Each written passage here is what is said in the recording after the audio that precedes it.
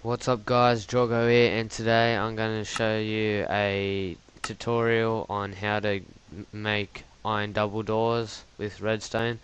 So here I am in my creative test world and what you want to do is dig a um 2 by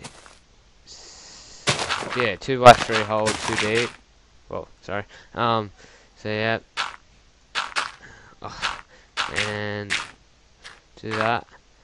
And then what you want to do is place a block there or any type it doesn't matter a redstone torch there redstone there and there. Now just cover it up with whatever you want.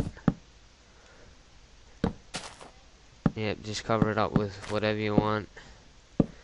Put your iron doors on and put pressure plates there and there and there you go you have iron double doors. So it's pretty simple. All you need is uh, an iron door redstone or you could use wooden doors as well.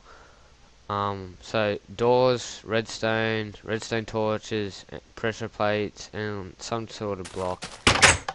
And that's all there is to it guys. So please leave a like and comment and thank you for watching. See you later